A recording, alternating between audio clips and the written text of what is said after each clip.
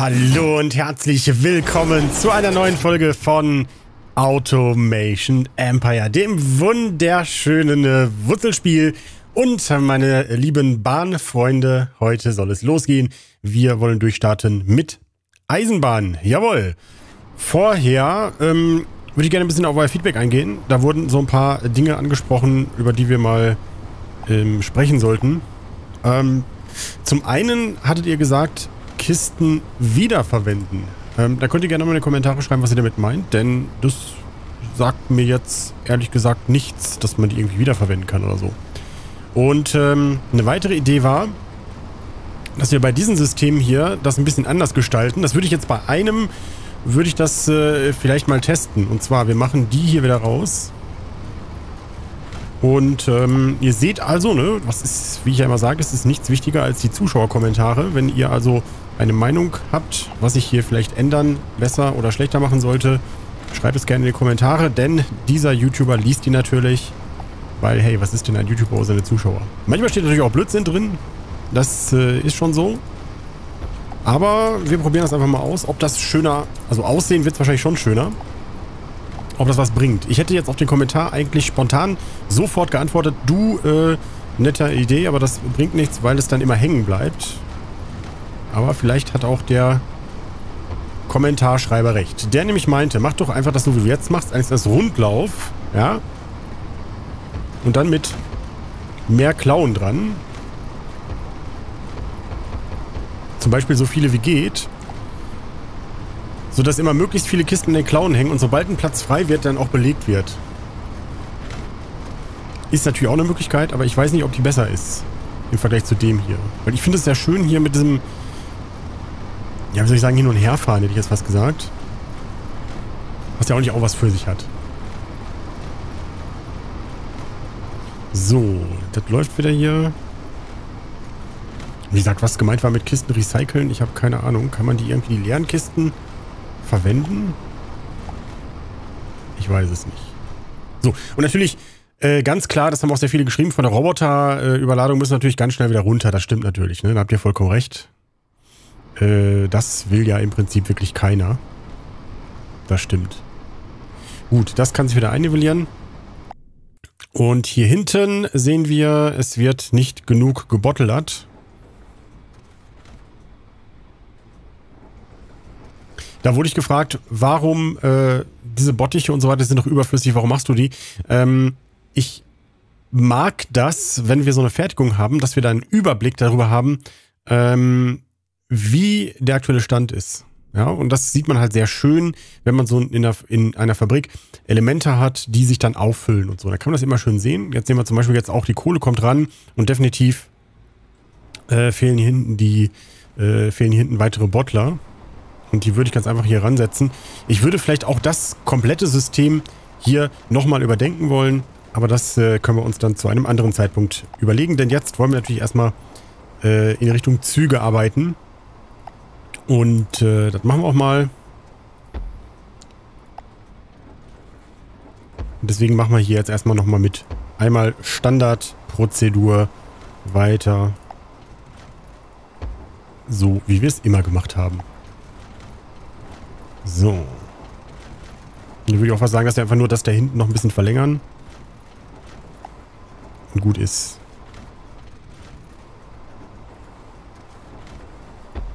So, dass wir einfach jetzt hier bei den bestehenden Klauenzügen...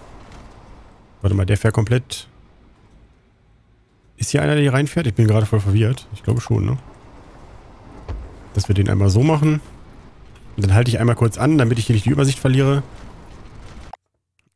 So. Warte mal.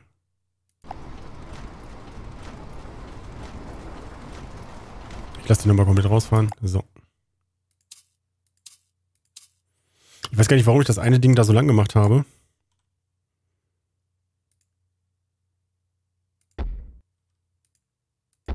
Das könnten wir gleich auch nochmal nachgucken. So. Warum habe ich das denn so gebaut? Hä? Habe ich irgendwie Lack gesoffen oder was?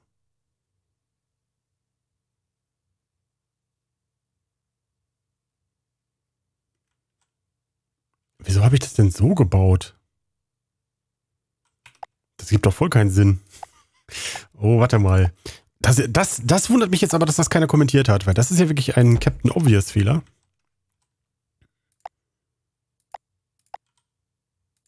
Warte mal, so. Der fährt ja voll unnötig hier komplett hier lang. Wer baut denn so einen Quatsch?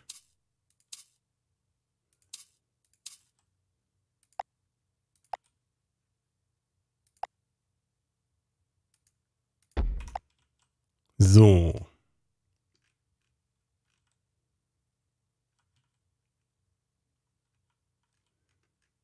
Wo, wo fährt dieser Clown-Train hin? Ich bin hier gerade total verwirrt. Der tut ja gar nichts mehr, ne? Der würde den hier beladen. Also den haben wir, glaube ich, in Reserve gelassen, wenn wir hier noch mehr beladen wollen, oder? Bin jetzt gerade voll verwirrt. So, hier haben wir zwei.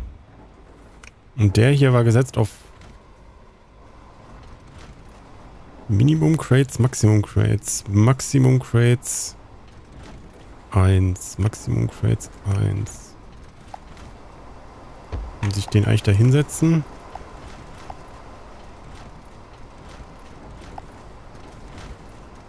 So. Und warum fährt er jetzt nicht weiter?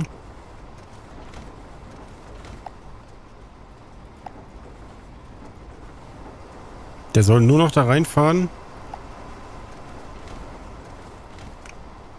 Wenn wir da zwei dran haben, dann muss der ja mit zwei da durch. Nee, der muss mit Minimum Crates. Ich glaube, ich habe das falsch eingestellt, ne?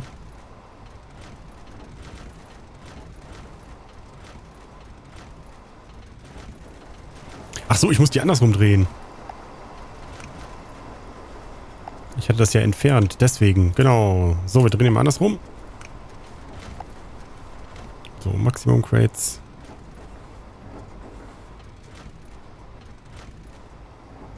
Da müsst ihr ja schon vorher eigentlich umdrehen, ne? So, er packt die. Und der fährt ja aber trotzdem weiter. Warum?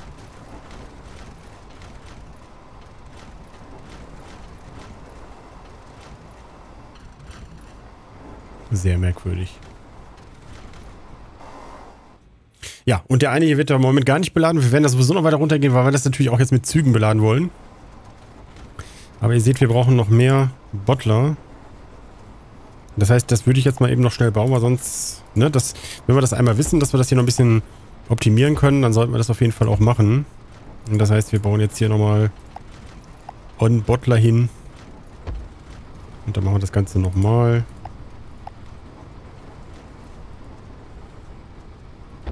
So, bis hierhin.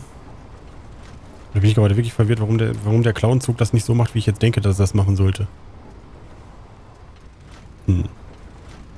Ach so, und dann haben wir ja noch dieses Ausweichding hingebaut. Das sollten wir vielleicht auch nochmal machen. Damit er die rüberladen kann und wir eine weitere Abladestelle haben. Das ist eigentlich eine ganz gute Idee, glaube ich. So. Der wird auch immer fast voll, das ist sehr gut. Und dann können wir hier... Na? Achso, da muss ja wieder der hin. Entschuldigung.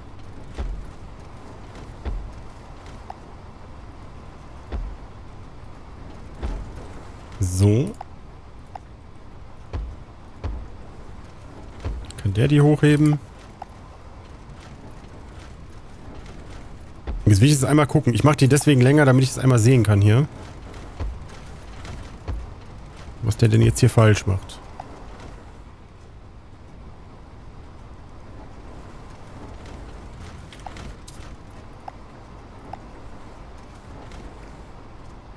Es gab übrigens jemanden, der dann in Caps schreiben musste, verdammt nochmal, was bist du für ein dämlicher Idiot, sowas bescheuertes für dich habe ich noch nie gesehen, das heißt nicht Bottler, du mit deinen scheiß dämlichen Begriffen, das ist überhaupt nicht lustig, ich schaue dich nie wieder und kann dich nicht empfehlen.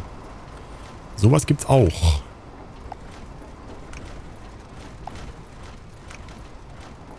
So, also zwei. Er soll... Ne, er soll nur weiterfahren, wenn er eins hat. Genau. Wenn er zwei hat und dann, dann würde er ja mit zwei noch durchgelassen. Das soll ja nicht passieren. Genau, das war mein Denkfehler.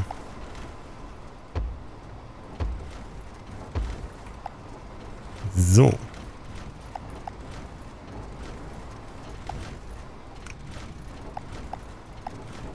Da wurde ich häufig gefragt, bei mir geht das nicht. Ihr müsst halt hier das anklicken. Das ist, das klicke ich nicht an, damit das, äh, damit das äh, irgendwie schön leuchtet oder so, sondern das aktiviert erst die Funktion, ne? So. Nimmt zwei mit, fährt sofort zurück. Genau so soll es sein. Der andere hat hier gerade abgeladen. Hier wird auch alles voll. Ja, da müssen wir mal gucken, dass wir den dritten Clownzug ja auch noch dazwischen kriegen irgendwie.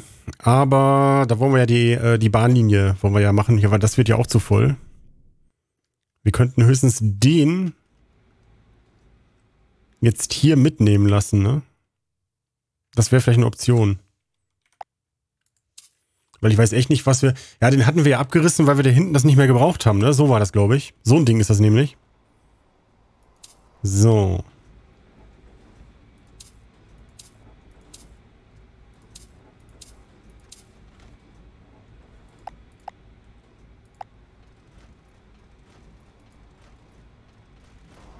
Achso, hier kommen wir nicht rum.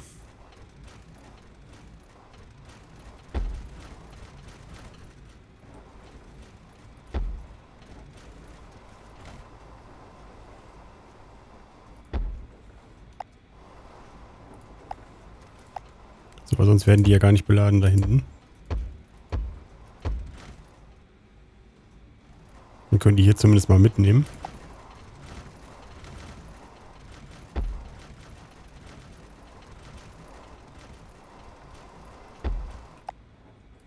So, der wird ja auch ziemlich voll hier.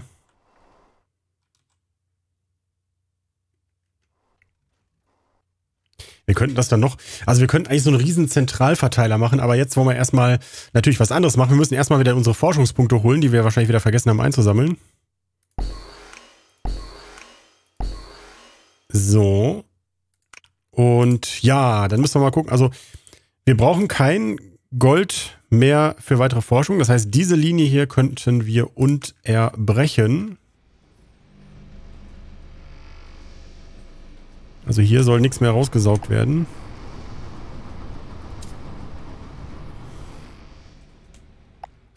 Den Rest kann er natürlich noch jetzt abholen und wegforschen. Aber ansonsten brauchen wir, glaube ich, kein Gold mehr. Obwohl, es könnte sein, dass wir dafür noch Gold brauchen. Ne? Müssen wir gucken, wie viel übrig bleibt. Ich weiß es nicht. Wir schalten erstmal die Züge frei.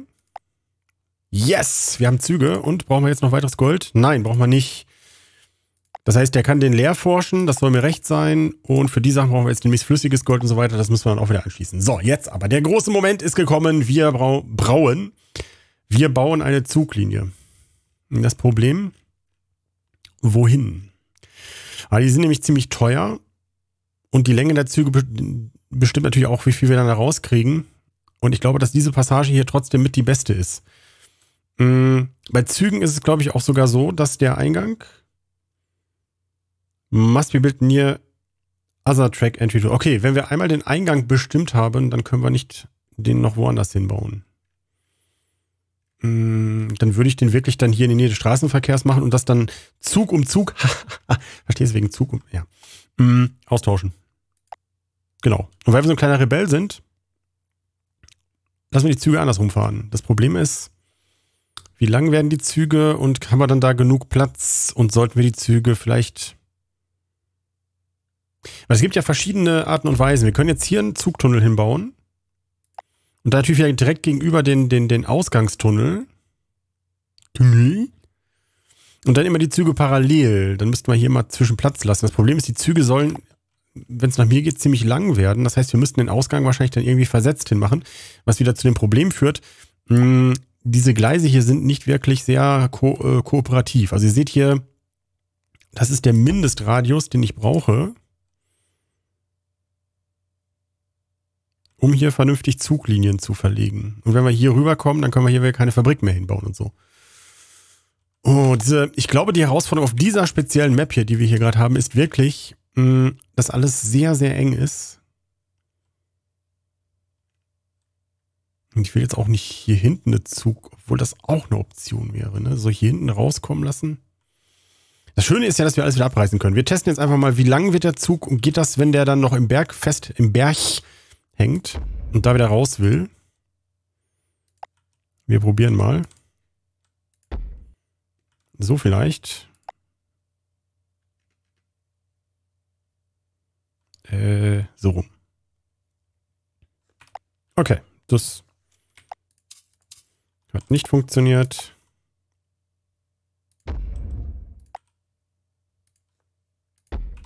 So. Dann Zug B Ladestation. Und das ist ja schön, das können wir jetzt mit den, mit den normalen Zügen dann B- und entladen, sofern wir überhaupt noch Platz haben. Ähm und der Entry Point ist immer zur Seite und dann immer haben wir immer einen Abstand. Ne? Und dann würde ich jetzt sagen, wir gucken mal eben, wie weit ist denn der Abstand mindestens, denn je mehr von diesen Türmen da stehen, desto mehr zu, desto mehr äh, Waggons kommen. Kriegen wir das so gebaut? Nein. Es muss einer weiter. Das ist erstmal nur ein Prototyp. Das müsste so aber gehen, ne? Nee, da muss wahrscheinlich auch noch ein Rohr, ein, Nupsi dazwischen. Oh, jetzt weiß ich gar nicht, ob ich äh, laut Bekunden des Zuschauers auch Nupsi sagen darf. Der hatte wahrscheinlich auch nur einen schlechten Tag. So.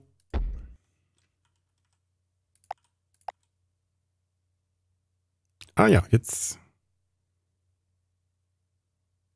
Jetzt will er das gar nicht mehr.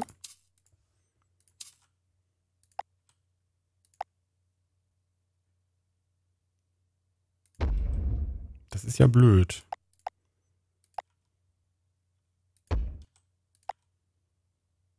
Kann man den nehmen dann? Nee, auch nicht. Gut. Ja, genau. Also das heißt, ähm, Züge werden dadurch befüllt, dass wir halt die fertigen Materialien nicht mehr äh, in, äh, in äh, Bottler packen, sondern da könnten wir zum Beispiel jetzt wieder eine Bahnlinie hier rüber bauen und dann die Sachen abtransportieren. Und das würde ich auch wirklich jetzt hier mal dann exemplarisch an der einen oder anderen Stelle versuchen. Zum Beispiel könnten wir hier hinten aus dem Tank erstmal eine Linie, huh, hier hinten aus dem Tanks eine Linie bauen, aus dem fertigen Tank. Das Problem ist nur, kommen wir hier mit einer Linie, ah, warum, warum, was ist denn das jetzt hier? Warum zoomt das so komisch? Ähm, kommen wir hier irgendwie rüber mit einer Bahnlinie, ist jetzt nur das Problem. Das ist jetzt äh, die Frage aller Fragen.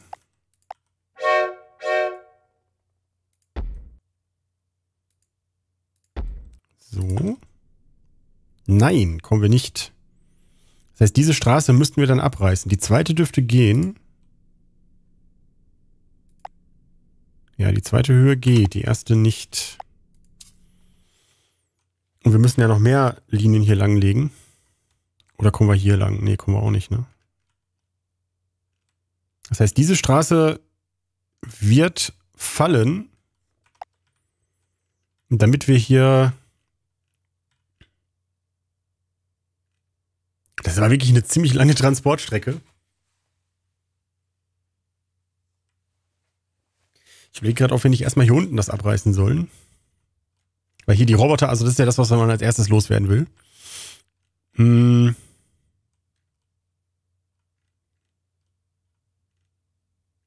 Aber da können wir uns da die ganzen Bottler sparen. Ne? Das ist ja natürlich auch eine coole Geschichte. Oder aber...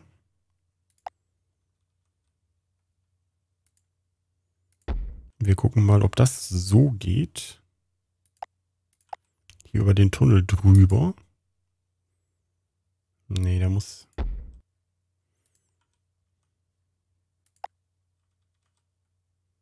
Über den Tunnel geht's gar nicht. Okay. Na gut.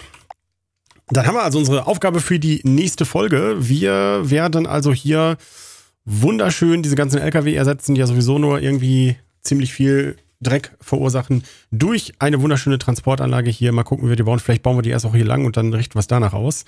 Ich danke euch fürs Zuschauen. Ich hoffe, es hat euch viel Spaß gemacht und wir sehen uns in der nächsten Folge wieder. Bis dann, macht's gut. Tschüss und bis bald.